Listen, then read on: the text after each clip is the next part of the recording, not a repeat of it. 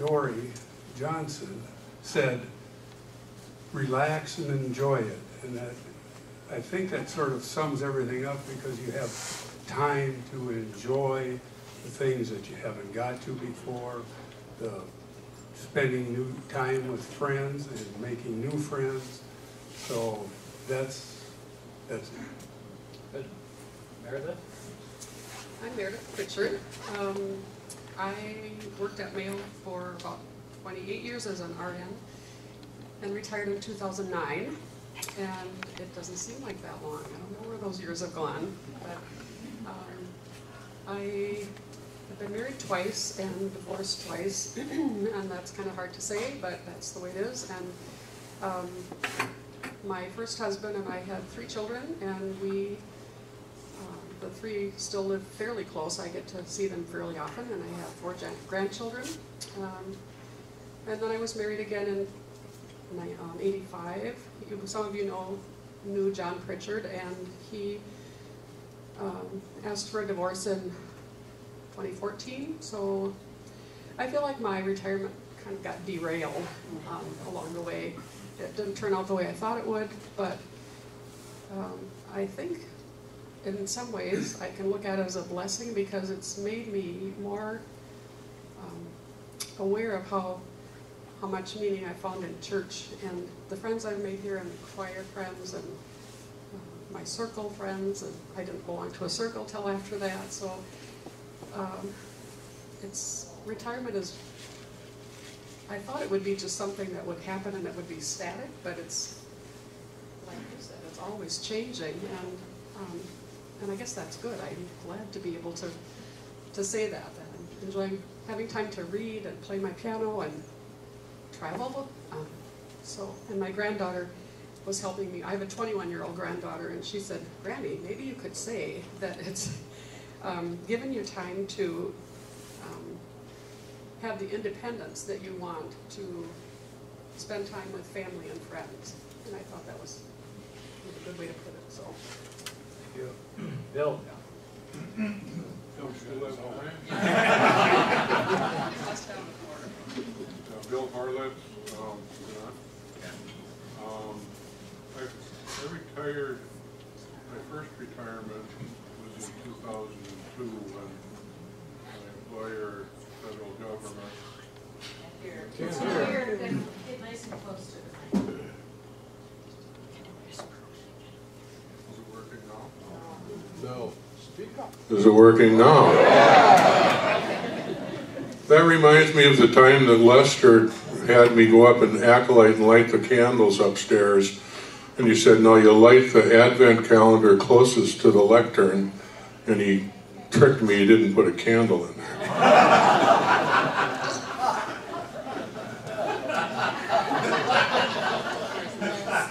Anyway,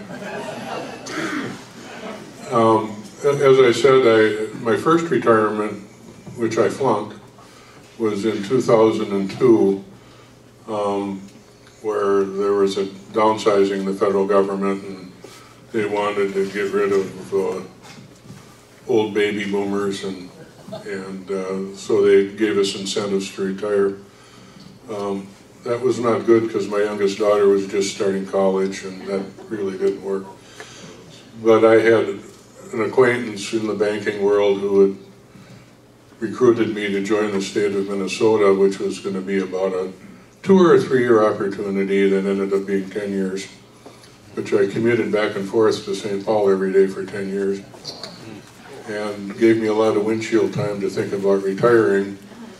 So the second time I retired was on the 29th of January 2013, and if I'd retired on the 28th, it would have been too soon. And if I'd retired on the 30th, it would have been too long. So I was really fortunate to be able to pick a good time. And the reason why one day would be too short and one day, other day would be too long is I had rebuilt the staff. We had just completed the last bank failure during the Great Recession, and there was a new day was coming forward, both with the political administration and changes. So it was really a good severing point for me. Three days later, I was called by a local bank and said, how would you like to come to work for us? Which I said, I'm not really that eager, but I'd like to do something. And so I flunked retirement the second time, but only for part-time, and I've been on the board of directors of Premier Bank since then, and I, I still work part-time. Um, I think the thing that retirement is, in a way, made, made me a little bit selfish because I value my time more than I ever did. And uh, I like to do things on the spur of the moment. Sandy and I decided at the end of August last year we were going to go to Europe for a month, and so we two weeks made arrangement and went. You know, and where do you get to do that when you're raising kids? You just don't. And and as far as Rochester is concerned, it's really exciting to be watching what's happening here, to be a little bit part of the business community with downtown development, to be a part of the Zumbro community looking at a exciting project on doing something with this building in our ministry in downtown Rochester. And having that vision and seeing that kind of excitement has really, really been fulfilling. Thank you. Let me ask each one of you, uh, how much time you put into planning for retirement? Meredith, you want to start? I thought about it a long time, actually. Um, Well, I think probably seriously about a year. I mean, we had been putting away money for a long time, so we knew, I knew that money would be okay, and I was feeling like it was time to retire as far as my nursing career. I was feeling kind of burned out and like it really wasn't as fulfilling. I wasn't sure I was doing the best job anymore, although my lead nurse said I was, but, um, As it Yeah. turned out, uh, Yeah. was your, was your retire, was your planning realistic? yes. Bill? Yeah, I don't, I don't think I ever really planned it other than probably the financial piece. Um, It, uh, it was just time, you know, and I, and, and I look around and, and see members of the congregation and so many of you were mentors as to what retirement meant and it didn't mean stopping something, it meant growing something and moving towards something. So it always was the next adventure. I've always just looked at it as an adventure, not an end, but a beginning. Well, I guess I'd have to say I always planned on retiring, and I planned uh, to do it early enough to enjoy the years I had left. The, um, working at Mayo, I was part of the pension part that after thirty years, you know, it was sort of time so I had sort of planned on, you know, looking at where things were financially after thirty years.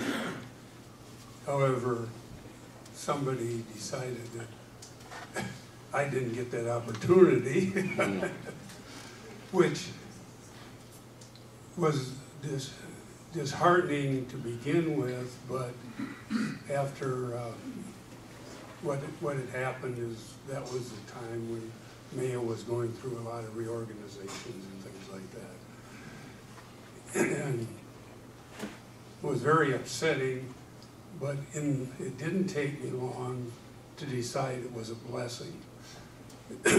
Because I think like uh, Marilyn said, I was sort of at the time, at the point where I could retire. And I did end up going back part-time, working for another company for about a year the hardest part of retiring at that point is that I, all the other people that we hung around with were all still working. And I was retired, I had time to do things. The blessing in that is I got to meet a whole new group of people and enjoy that uh, involvement. Uh, In my uh, work at Mayo, uh, we used to joke that some of our doctors spent more time planning for a three-week vacation than they did for retirement. I think that may be true for other people too. Uh, people, uh, any people fear retiring, uh, having depression or longing to get back to work? Uh, How did you feel about that? Bob? Um, Well, I guess I didn't fear it because my dad retired and he actually retired early. And he enjoyed the retirement, so I guess I sort of took a book page out of his book and decided that that would be, work for me too then. Uh, I didn't fear it. No, I, I was looking forward to it. Um, I didn't, I didn't plan on going back to work. My, my nurse supervisor asked me if I wanted to come back and work some supplemental time when I was leaving, and she said, you know, you could have any hours that you want. And so I said, well, let, give me a month and I'll let you know. And by that time, I knew.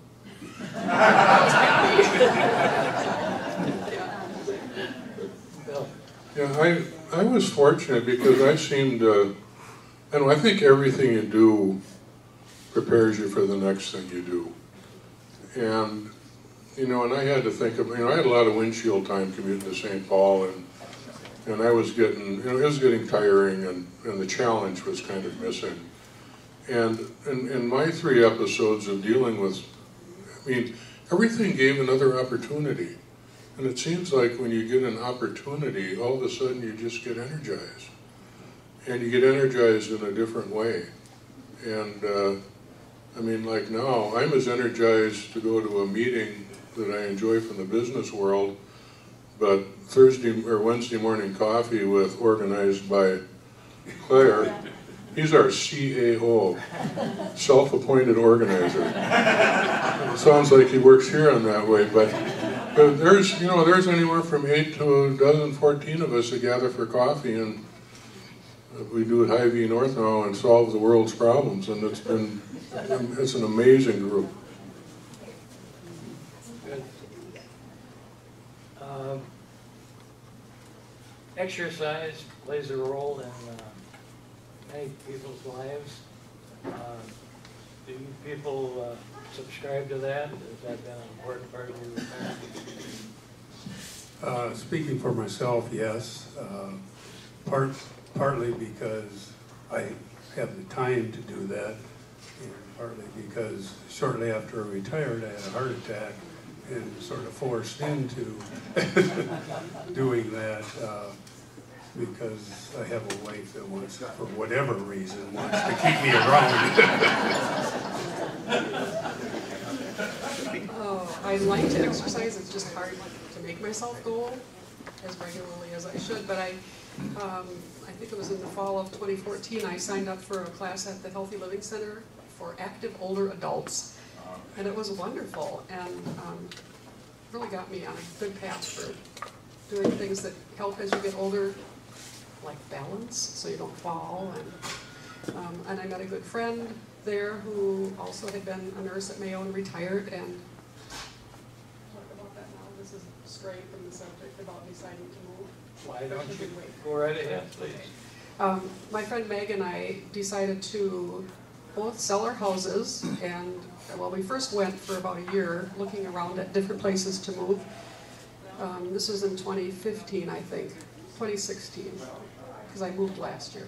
Um, I knew that I didn't want to stay in the house after three years of taking care of it by myself, and it was too big for just one person, and um, at that time Homestead was building new apartments, senior apartments, and uh, she was in the same camp as I was. We decided to sell our houses, and we each signed up for one of the new apartments and moved a year ago, April 6th. So um, I know it's not for everybody, but it sure was a good idea for me um, to not have to take care of the house anymore and not have those responsibilities. Um, It's allowed me to have time to travel, and I've made new friends there. It's just a great, great place. So if anybody wants to talk to me about that, you sure can. I'm an advocate for moving before you need to and being able to choose the place you want to go.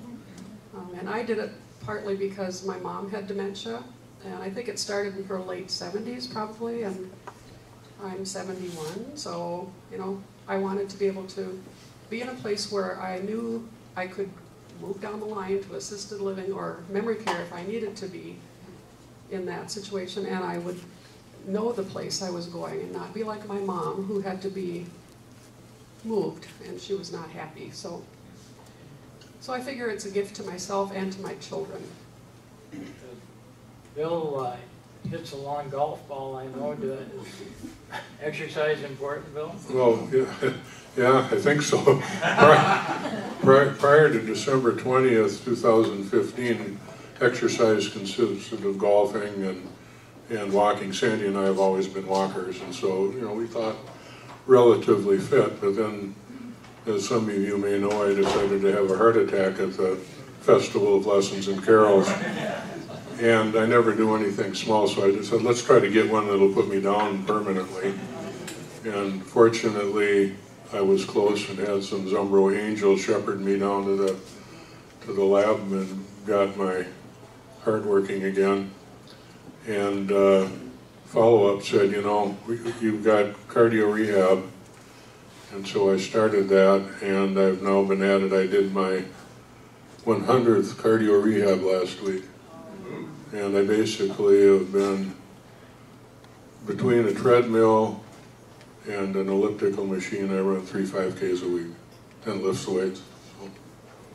And it's working. My cardiologist told me she wanted me her patients for dec, be her patients from decades, and over Sandy's objection, I said, okay. Um, When I retired, uh, my wife was considering retiring at the same time. Can you hear me back there? No. No. No? Oh.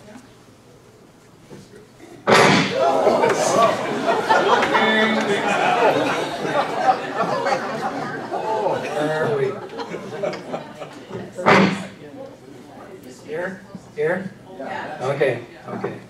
Pardon me. Uh, My wife and I uh, considered uh, whether we should retire at the same time. And uh, she initially said, no, she was going to continue to work. She was, she's young, much younger than I am. And uh, so that's the way it was until the weather got better and we, she started thinking about catching walleye and I would be catching more walleye. So she retired at the same time. Uh, It had pluses and minuses because uh, nobody knew whether to congratulate her or me or both of us. Uh, But we, we've had a nice retirement together. How did retirement affect your marriage? And I apologize to you, Meredith. uh, I'll tell you. Okay. Go ahead, Bob. Well, it's, it sort of sounds like, uh, my retirement is the same as you guys, as, as our retirement. We, uh, I was gonna be retired and we always had read that, you know, you shouldn't retire at the same time. So Carla graciously said that, you know, she'd work for a couple more years, you know, to tie, tide things over. Well, I retired in June and by November, she had retired. I, I think it was she didn't trust me home alone. I guess I could go. I, I'm sure my wife has a different opinion on this than I do. She seems busier most days than I am. And uh, when I, the first time I retired, I was off for about 60 days. And uh, I think the idleness and self-worth was kind of impacted at that time. I knew I was going to work again in late November, but I had a September to November period where I was just kind of, I'd been getting up to work for 40 years and 40, you know, I had no place to go.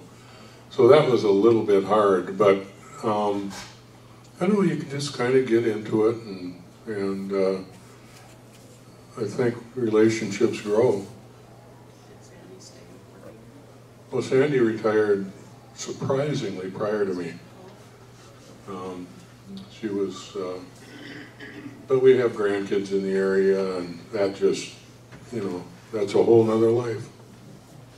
Uh, You can comment if you wish, Yeah, well, um, just, I'm just gonna say briefly that I had retired first, I'm, I was, John was two years younger than I, and so he decided he'd stay working, and so he retired in twenty eleven, and, I mean, I always enjoyed doing things with my friends and people that I'd worked with, we still got together, and, you know, I joined a circle, and, um, so I always had things to do, and and he seemed like he had a struggle with retirement, um, more so. He didn't have friends that he did things with and um, didn't want to go out and do things. And so I think it was harder for him, and that's not what caused our marriage to falter.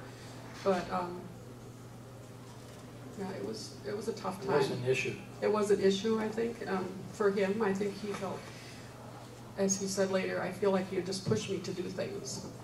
And um, I didn't see it that way, but that's, that's how he did, so, yeah. Sometimes, sometimes you have to push. Yeah. And I'll just say briefly, some of you know this, but he ultimately was diagnosed with dementia and is in a memory care unit in Madison now. So I think some of that was going on at the time, and neither of us knew that, so.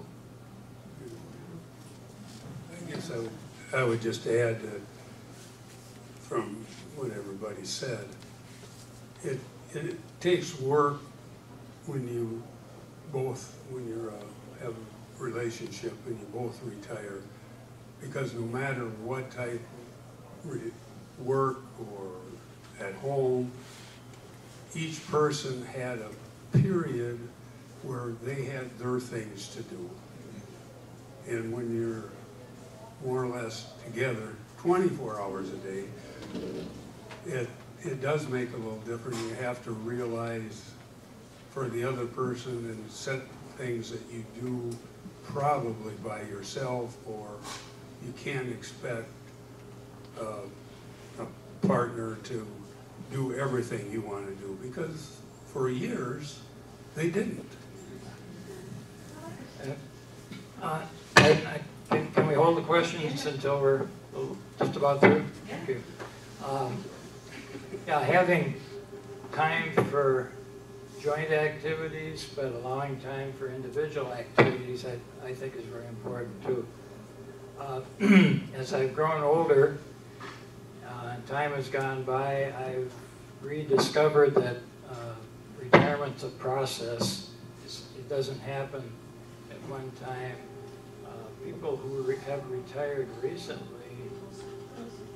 people who have retired recently talk to me about going on tra- trips, uh, being very active, uh, et. I'm- I'm more interested in slowing down at this stage, having done uh, the tra- traveling, a lot of traveling, and uh, see retirement a little differently. Uh, Is the process evident to you, Bob? Have you gone through a process in your retirement? Yeah, I, I think so. I think, uh, you under, well, to be honest, when, when we first retired, because, well, I went back to work for a while, but after I was, but it was only part-time, and when I finally retired from that job, we were both together, and it took a discussion together of where that, where you go and you need a little time by yourself. I was, when I was working, I didn't have, I spent a lot of hours at work, and so when retired, I thought, well, you know, I can help out more around here, which I found that I didn't need to help out as much as I was trying to do. Yeah, didn't, she didn't really need my help, I guess that was, yes. Uh, So, and, you know, as the years go on, go by, I have, you know, I think we've found a happy medium, and we've found new things are coming up, and now that we're getting older and probably the traveling is slowing down a little bit and you want to spend more time uh, just relaxing and having time. I mean, the biggest thing that I have enjoyed in retirement is having time to do some volunteer work, do things that I never could think of doing while I was working because I just didn't have the time. It's sort of following that axiom, you, you learn, you earn, and then you serve. And we're more in that, s- I'm trying to be more in that serving spot now. Uh, Meredith? I forgot what the question was. Uh, Process, process of, uh, in retirement, things change. Yes, well, definitely it has for me. I feel like there've been some stages to mine, and I feel like retirement sort of really started after my divorce in 2014, where I've, I've kind of had to grow on my own and learn how to take care of everything, the finances, the, the house when I lived there, um, selling a house, I'd never done that before, moving by myself, so some of that was all new, but then um, I've, I'm at the point in my life now where I want to travel. I haven't, hadn't done a lot of that before, some, but, you know, so now I feel like I have the time to do that and I'm looking forward to that and so I know it's a process, it's a, yeah. Bill? I mean, I don't, I don't feel much of a process other than things change, like when you have an illness like I had, you know, you get a wake-up call and, I mean, I'm kind of sitting what I call my bonus years and think I had two granddaughters born during years I shouldn't be here, it's just exciting. But I think the thing that was the most important to me is that I knew it at the time, but every year that goes by, I find out I married my best friend. And that we enjoy the same things mostly, and we give each other space. And, and, and we become very spontaneous. We're, both interested in pretty aggressive traveling while we're able to do it. And so we're doing some of that now. And like I said earlier on, probably have become a little bit more selfish with our time. I, think I was busier here when we had three kids in school than I am now. But I figure, you know, you can't pay your dues along the way, and you, you can be a little selfish, but that's kind of the way I looked at it. We've, we've been able to backpack around Europe like a couple of college kids, and what could be greater than that? Good. Um, Let me, I'll ask him one more question, and after that, uh, we'll take questions from the audience. Uh, We're all church members. uh, Importance of uh, religion in your life now, or for meaning, meaning in your life? Well, I've always, I mean, it's always, religion's always been part of, part of my life. Probably the thing as far as Zumbro, it's been the people here and the things that they've helped, that I've been able to get involved in. And because I'm, I'm, you know, sitting up here is hard for me. I'm a shy person.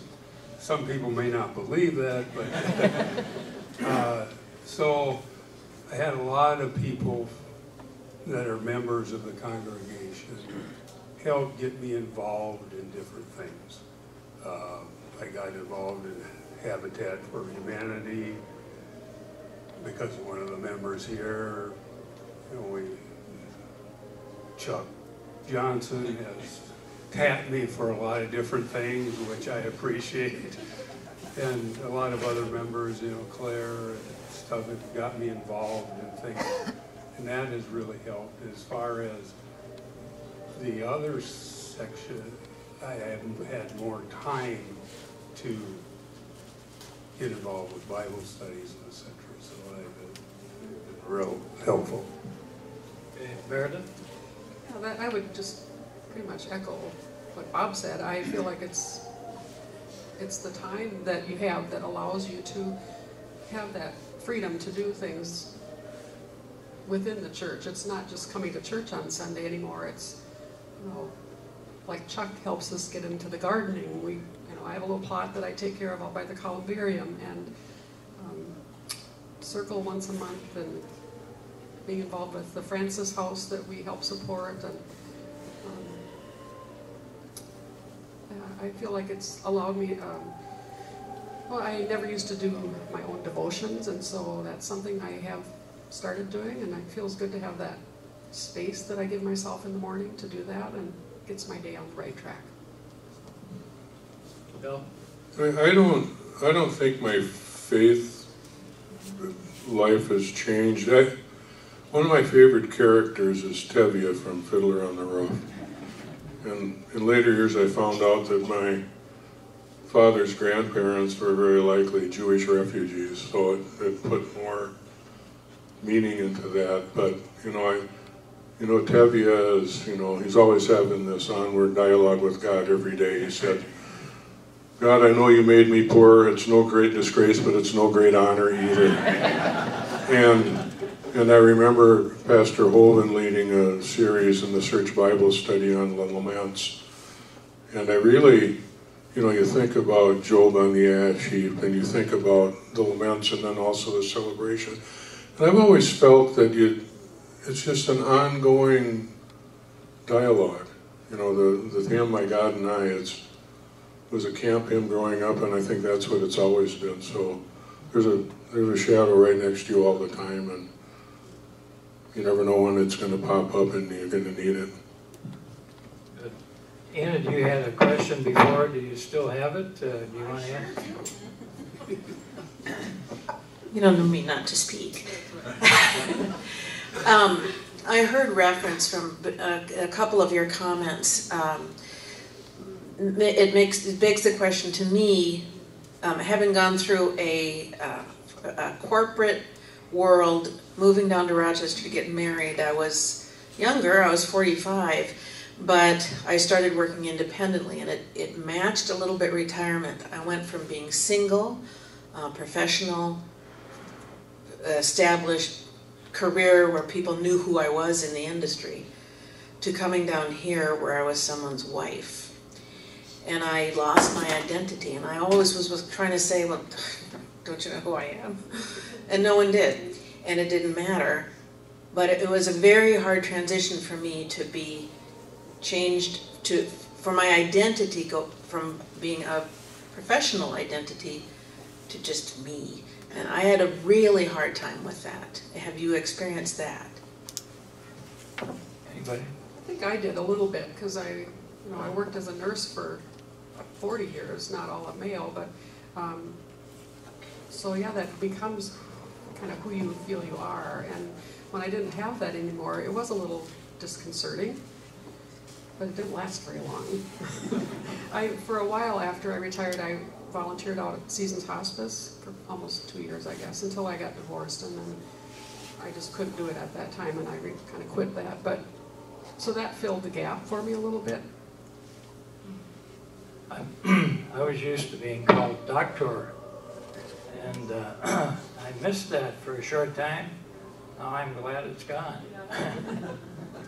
Uh, Either of you question, Well, comment I- on identity? I've not fully lost that professional identity, but I do remember a little bit of a story that's similar to that for a younger age person that lost a child to a backyard pool drowning when they were young. And they were moving, and that person had said to Sandy, I'm going to go live someplace that nobody will know I ever had a child.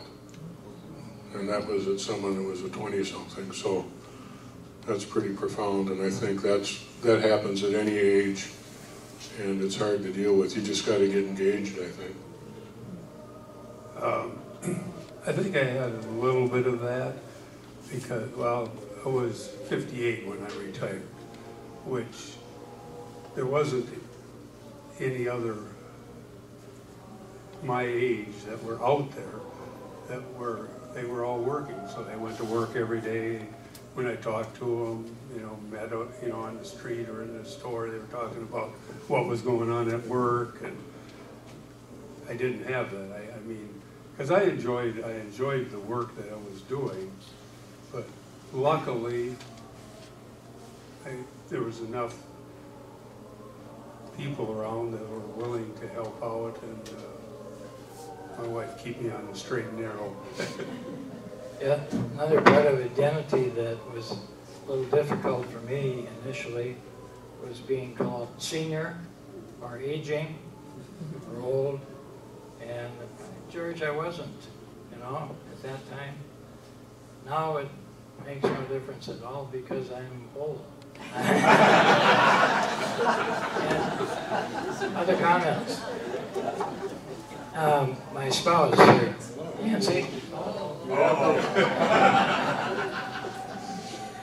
Uh, When I retired, that was uh, an issue, myself, my identification with my job. But I solved that by asking Bob, telling him I expected him to stand up whenever I came in the room.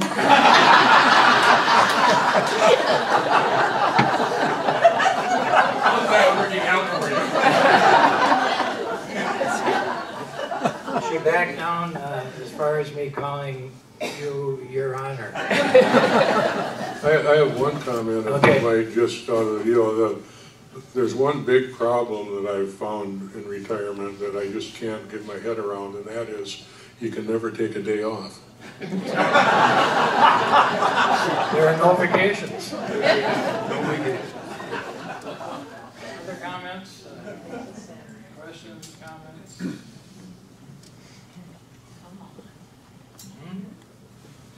Somebody must Gotta be have some someone. comments.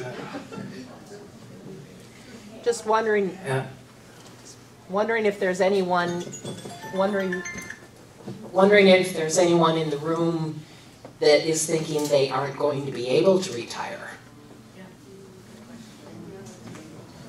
I think that's, you know, no one needs to say it, but it's yeah. something we haven't I mean, I really can- covered.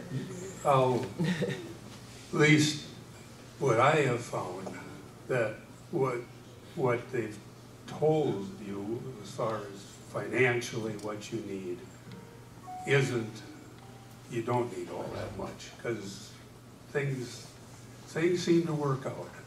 And you don't spend all the money that you did while you were working. But another hard thing about it is you spent all that time, you're saving, putting away for retirement, and then all of a sudden, you're not doing that anymore. And you think, I must be doing something wrong. In some ways, it's hard to take that money out and use it too. I feel like it's, I mean, I feel like it's a balancing act. How do you know how much you're gonna need for how many years, you know, so it's, you just have to be careful with it and, I talked to Tim Moline here, some at church about it when I first needed some advice and to find people that you know that you can talk to, have a financial advisor. I mean, the key is starting early, but I, I like to, you know, we've heard a lot of this lately, that social security is gonna be gone and we're gonna be broke and, and everything else, and I like, sometimes we need to separate political agendas from what's really true. And we get caught up in rhetoric that, that speaks to an agenda, doesn't necessarily speak to what's gonna happen, and I think you plan we all, you know, the greatest generation faced a lot more hardships than my generation did, and and look what they created. So I think that we need to use what God gave us between our ears to think and plan. And I think that I'm not worried about the future. There's there's people that are so much brighter and more talented than I am that they're going to solve these problems, and uh, that's my answer to that. other comments? Yes, right over.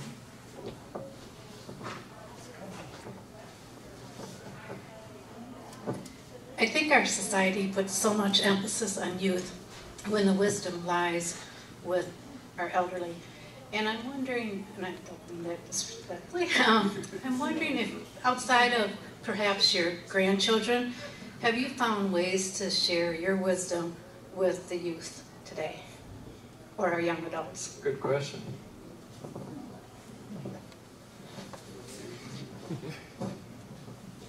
I, that's something I feel like I wish I wanted to do. You know, it's, I kind of feel like you, Bill, that I'm, I'm feeling a little selfish with my time and, and yet I know that there are programs like, you know, the elementary schools need people to come and help with reading and so that's something I'm thinking about doing. I think at Homestead they have a program where they have asked if people want to do that, they'll provide the bus ride over to Gage, I think, to do it. So that's on my back burner. And then I signed up to help with the Winona- nursing students last year. I didn't do it this year, but, so that's sort of a way, but it's not really the younger people that I think could use some help too. In a sense, uh, um, you have to have an opportunity. I don't know if the opportunities are there that could be there. that, uh, Retirees are invited to uh, participate and uh, speak from their own standpoint and wisdom. Uh, Those opportunities might be more, um, might be more common than they are today. Um, I've worked with some financial literacy programs where we tried to bring literacy, and I was working at the time, but trying to bring literacy into the school system. And, uh, you know, with young people, teach them how to balance a checkbook, think how to use a debit card. That just because they gave you a card doesn't mean you can use it every day. And um, we found out that the ones that needed it more were the teachers.